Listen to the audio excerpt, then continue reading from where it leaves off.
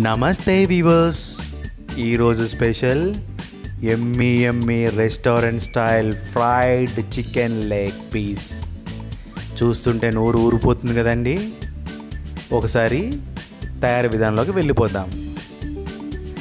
Welcome to అమ్మతో సరదాగా.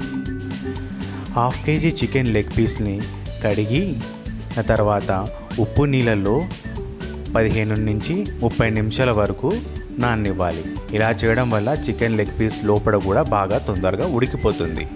ఇప్పుడు తయారు విధానంలోకి ఒకసారి వెళ్ళిపోదాం. బౌల్లో మసాలా మిక్స్ కావాల్సిన పదార్థాలు ఒకసారి చూద్దాం.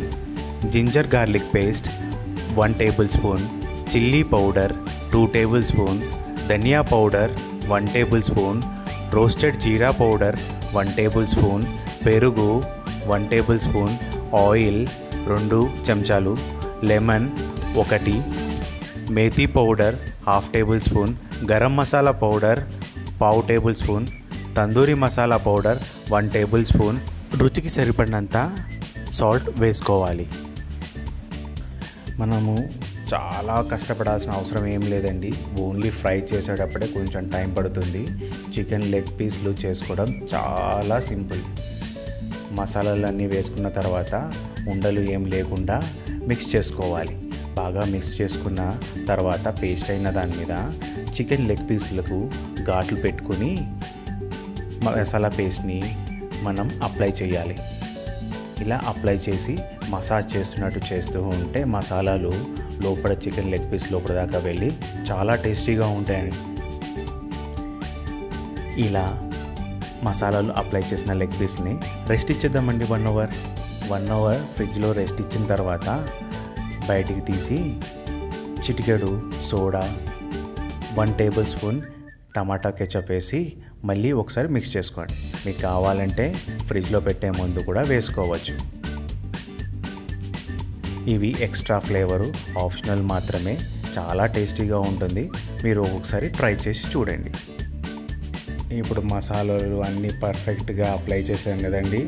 ఇప్పుడు ఫ్రైయింగ్ టైం కడాయి పెట్టుకుని ఫ్రైకి తగినంత నూనె వేసుకుని నూనె వేడెక్కిన తర్వాత మనం చికెన్ లెగ్ పీస్లు వేయడమే.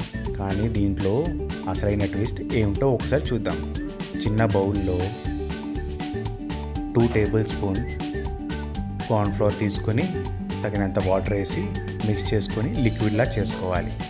మీరు ఫ్రై చేసుకునే ముందు ఆ లిక్విడ్లో కార్న్ఫ్లోర్ లిక్విడ్లో డిప్ చేసి ఫ్రైయింగ్ ప్యాన్లో వేయాలి.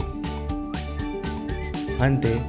మర్చిపోకండి. ఇలా చేయడం వల్ల మసాలాలు స్ప్రెడ్ అవ్వకుండా నూనెలో ఎక్కువ మాత్రం స్ప్రెడ్ అవ్వకుండా చికెన్కి మాత్రమే అంటు పెట్టుకుని ఉంటాయి. కంపల్సరీ కార్న్ఫ్లోర్ వాటర్లో మనం డిప్ చేసి వేసుకోవాలి. చూసారా? ఎంత పర్ఫెక్ట్గా చికెన్ ఉడికిపోయిందో కొంచెం టైం పడుతుందండి. ఏమి కంగారు పడాల్సిన అవసరం లేదు. బాగా ఫ్రై అయ్యేంత వరకు ఫ్రై అవ్వనండి ఇలా ఫ్రై అయిన తర్వాత మనం సర్వింగ్ బౌల్లో తీసుకొని సర్వ్ చేసుకోవడమే. ఎమ్మి ఎమ్మి చికెన్ లెగ్ పీస్లు ఎంతో టేస్టీగా ఉన్నాయండి. పిల్లలకి పెద్దలకి అందరికీ పర్ఫెక్ట్గా నచ్చుద్దండి. కంపల్సరీ ఈ రెసిపీని ట్రై చేయండి.